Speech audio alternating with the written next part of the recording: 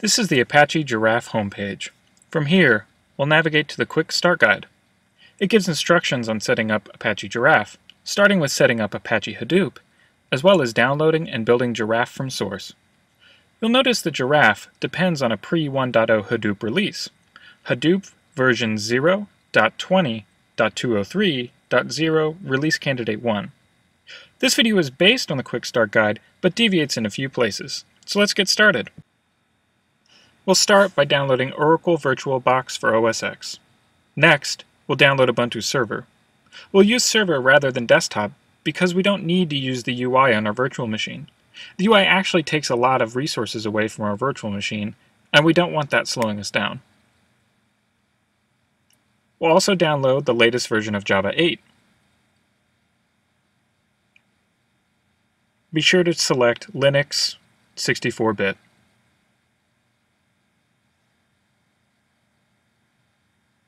Finally, we'll download the proper version of Hadoop. This video runs for about 15 minutes, but I sped up the video during downloads, progress bars, or other non-actions.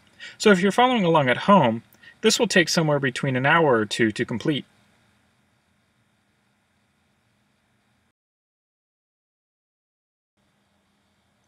When VirtualBox is done downloading, we'll start installing it.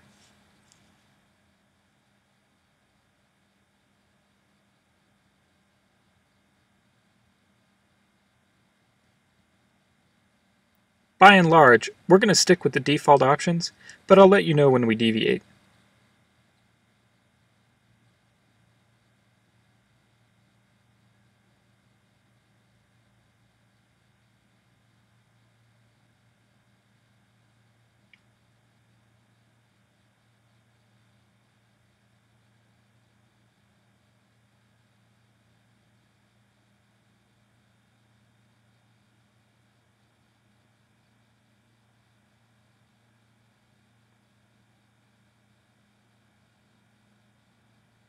Now that it's installed, we're going to start it up.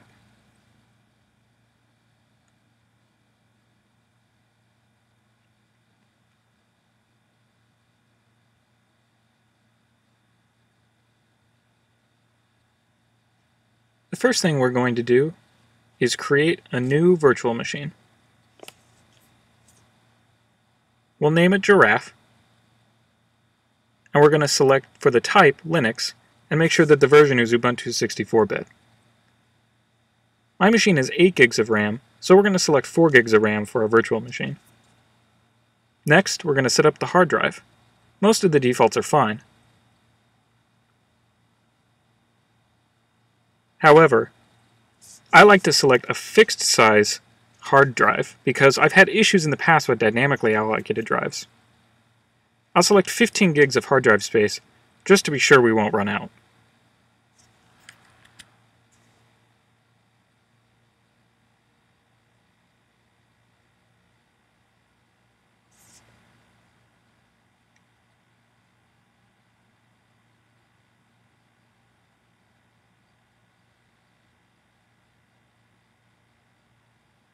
Next, it's time to install Ubuntu.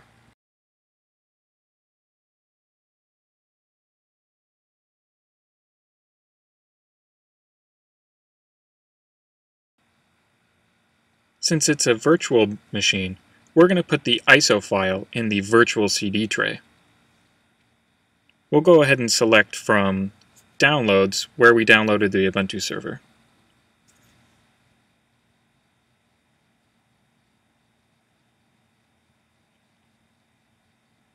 When we start the server, the bootable CD will start the install process. Again, most of the default options here are going to be fine.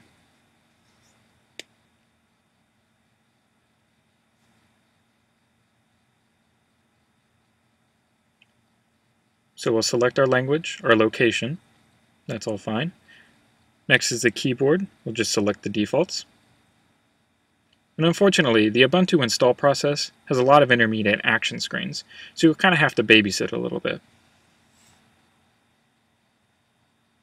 We'll name our machine Ubuntu. Default's fine. Next, we'll create a user. We're going to name it HD user. We're also going to set the password as HD user just for convenience.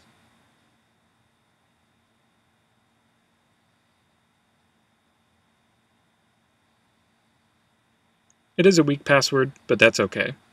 We also don't need to encrypt our home directory. Time zone, just fine.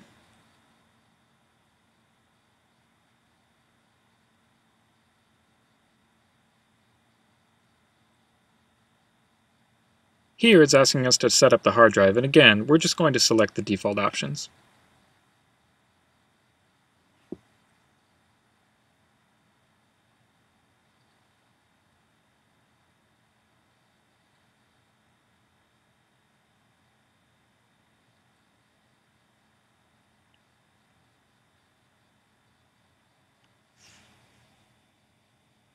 In my case, there's no proxy.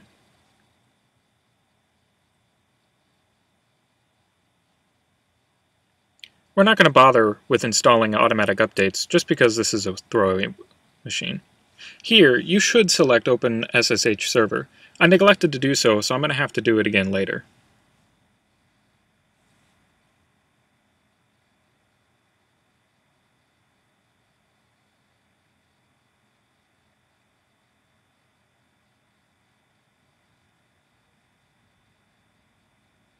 Installation is done. We're going to restart the machine.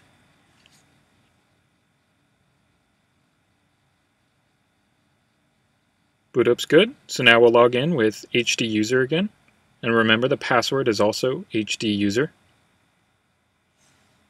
And there we go.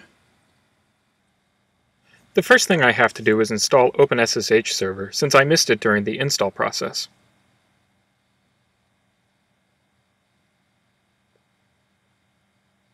Next, we're going to set up passwordless SSH into localhost.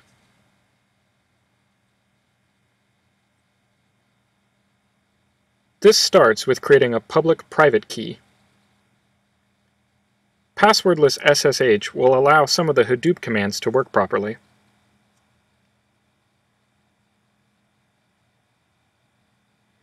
When setting up the key pairs, we can just use the defaults and leave everything blank.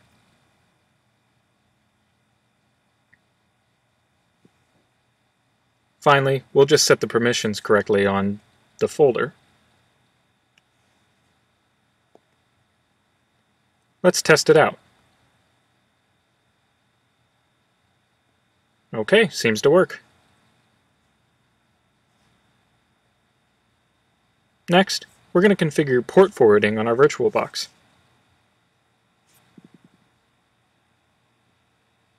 Our network settings are configured to use NAT, which is just fine for our use case. If we wanted the VirtualBox to be visible on an another network, we do something else. The first port we're going to set up is port 2022 on our host, mapped to the guest port 22. 22 is the port the SSH server is listening for. We can't map host ports lower than 1000, I believe. Thus, we're going to use 2022.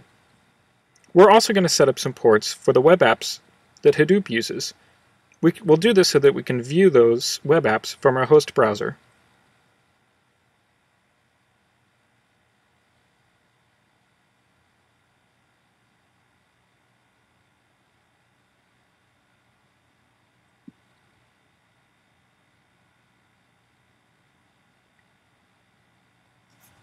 The port forwarding changes take effect immediately, so we don't need to restart our server. We're going to open up our terminal and our host and try to log in to our virtual machine. And it worked. Exit back out to the host and copy Java 8 into the Ubuntu machine.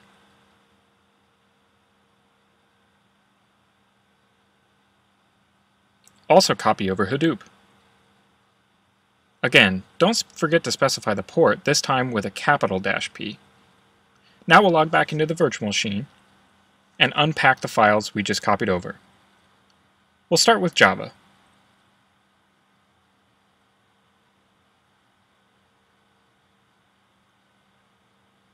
After it's done unpacking, we'll modify the .bashrc file.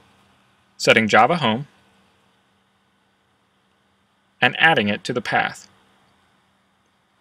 We'll verify that it's set up correctly by running java-version. Looks good. Next, we're going to tackle Hadoop. We'll start by creating the directory we want to put it into. This is under user local Hadoop. Notice we had to create sudo, use sudo when we created it, and the permissions are set to root root. We don't want to have to use sudo every time we create or modify something inside that directory, so we're going to create a new user group called Hadoop, and we're going to add the HD user to that group.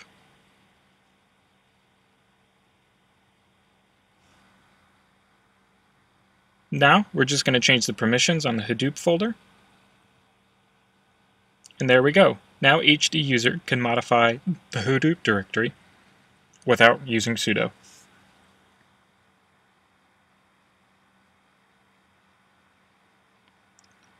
So now we'll unpack Hadoop into that folder we just created for it. After we're done unpacking Hadoop, we'll again open the .bashrc file and set Hadoop home.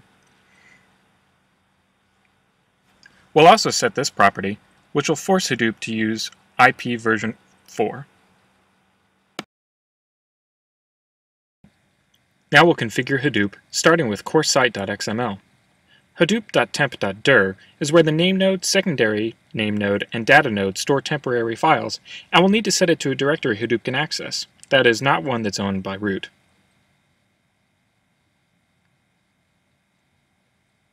Next, we'll add properties to the mapred-site.xml. Giraph requires at least four mappers, so we'll have to set mapred.tasktracker.map.task.maximum and mapred.map.tasks to 4.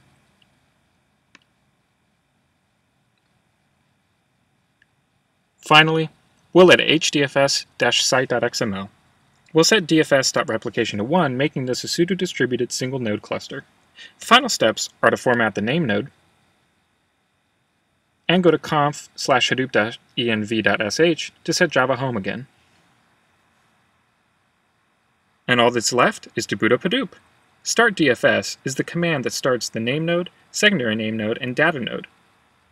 Next, we'll use start-mapred to start the uh, task tracker and job tracker. Now let's demonstrate that Hadoop is configured correctly by running a word count example. The text that we'll be running the, this on is Sunzi's Art of War. We'll download the file from the internet, then copy it into HDFS. Next, run the following Hadoop command to run the word count problem.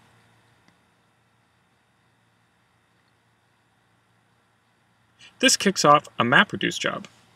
We can track its progress on the various web apps Hadoop provides over the ports that we opened up earlier.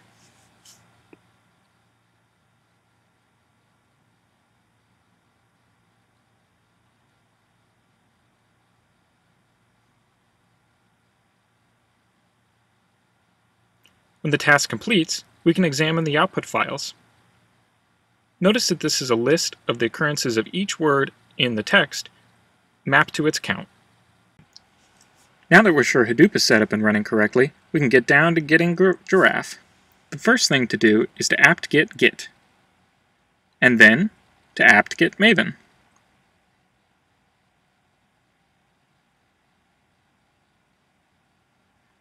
Be sure that Maven is a version 3 or higher. Next, we'll pull down the latest giraph from its GitHub repo.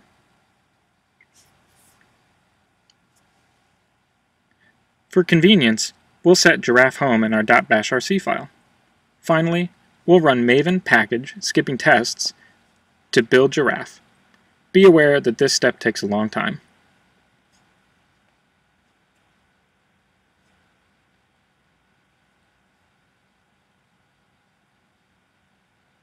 When it's done, we'll create this input file. This is a representation of a graph, where in each line, the first value is the vertex ID. The second is the distance from the source vertex, and next is a list of vertices it's connected to and the weights of those connections. So for example, vertex 0 is connected to vertex 3 with a weight of 3. Notice that Giraph works on directed graphs. Giraph can handle many different input formats. Copy the source file into HDFS.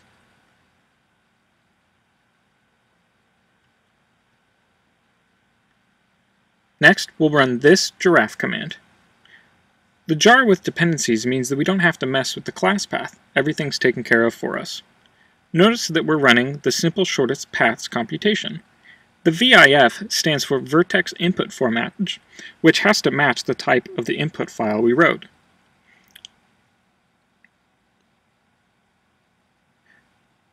The VIP stands for Vertex Input Path, which points to a location in DFS. And VOF is a vertex output format telling Giraph how we'd like to see the output data. Finally, the OP is the output path, where the data is stored in DFS when Giraph is done. Let's fire away.